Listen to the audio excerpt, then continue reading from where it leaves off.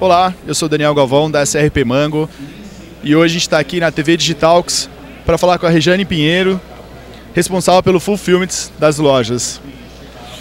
Rê, é, explica para a gente um pouco como funciona ó, essa relação de, do B2C da L'Oréal.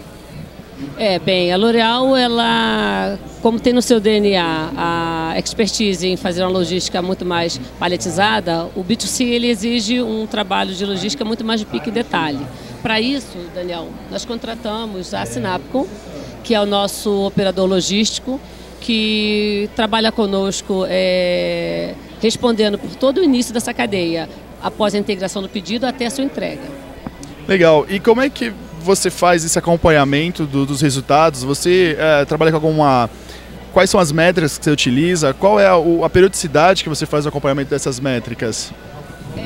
Assim, nós acompanhamos as, meta, as métricas padrão, né, de serviço ao consumidor, é, de SLAs de, de, de, de, atendimento, e em relação à logística, a mesma coisa. Também fazemos os acompanhamentos das entregas, os acompanhamentos do índice de pagamentos, cartões de crédito, etc. E tal e fazemos essa medida é, toda semana, fazemos uma, ou, ou, um call ou uma reunião presencial. É, semanalmente, é, a Sinapcom me apresenta os SLAs que nós acordamos no contrato. É, ao fim do mês, obviamente, nós temos o resultado geral. E ao fim do semestre, o resultado acumulado do semestre. Tá, e nessa relação com o parceiro, quais são os pontos que você entende que são os pontos mais importantes? Porque ficou claro esse acompanhamento constante. É, o que, que para você é, é, referência e importante nessa relação desses parceiros?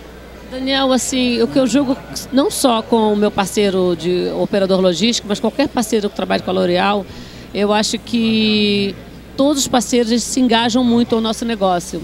Então, é, quando você vê num parceiro esse engajamento, o entender o negócio da L'Oréal, é, o DNA da L'Oréal, é, nesse segmento de beleza, o que a L'Oréal quer ser para o seu consumidor, esse parceiro ele começa a me dar respostas muito mais é, qualificadas do que meramente um, contratado. Eu hoje tenho uma relação com esse parceiro, esse operador logístico, de uma forma muito, muito objetiva, muito clara, muito sincera, e tê-los, é, saber que eles têm as dificuldades, e o, algo que eu gosto muito é que eles permitem que eu acesse, que eu interfira que eu leve novas ideias. Então, assim, há uma troca muito positiva por um objetivo final. Nosso objetivo é trazer o melhor serviço para a L'Oréal e, obviamente, manter esse bom parceiro conosco. Legal. Então, você acredita que o sucesso ou os números que hoje a L'Oréal é, tem no digital é uma relação muito próxima entre parceiro, acompanhamento dos números de perto, mas a, a, equipe profissionalizada que a L'Oréal tem interno? É, eu acho que é uma, uma junção, exatamente isso. A soma dessas duas equipes, tanto do meu, do meu contratado, meu parceiro contratado, quanto a equipe interna, é, nos faz hoje vislumbrar. Nós tivemos um crescimento ano passado no nosso segmento de e-commerce. Uh, e em relação aos indicadores de logística, por exemplo, 97% das nossas entregas acontecem no, no prazo acordado é bem interessante. Os nossos SLAs também de atendimento ao consumidor estão todos dentro do nosso, da nossa regra de 80-20. Então, assim, eu fico muito tranquila porque nós temos índice ótimo de aprovação de cartão de crédito, índice ótimo, um índice ótimo de entrega e um índice ótimo de atendimento ao consumidor. É, então, a tratativa de um reclame aqui, por exemplo, de uma reclamação de, uma, de um possível atraso de entrega que acontece, também temos o correio no nosso portfólio, não são as transportadoras que a Sinap subcontrata, e aí você pode ter uma eventualidade, um atraso, etc. Tal. A ação junto a isso é que é bem bacana, que é rápida. Então vem em nome dessa parceria. E o que garante esse SLA de 97%.